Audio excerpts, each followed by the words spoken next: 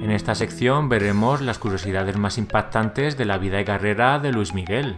Número 1. Su posición y su fama le abrió las puertas del cine y en 1984 intervino en las películas Ya Nunca Más y Fiebre de Amor, siendo estas sus dos únicas apariciones en el cine. Número 2. Luis Miguel fue el único artista latino invitado a participar en el álbum Barcelona Gold, conmemorativo de las Olimpiadas celebradas en la ciudad condal en 1992. Número 3. Luis Miguel recibe este nombre como homenaje al torero español que idolatraba a su padre, Luis Rey.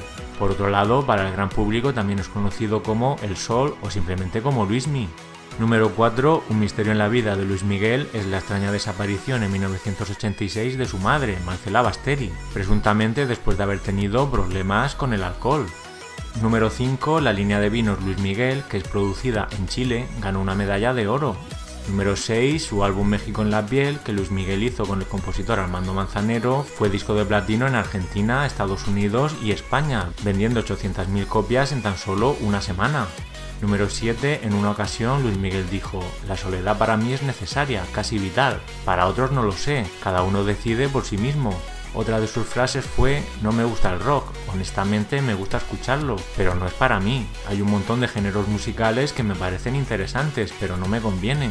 Una cosa es escuchar diferentes géneros, pero realizar un género que no es el tuyo es contraproducente.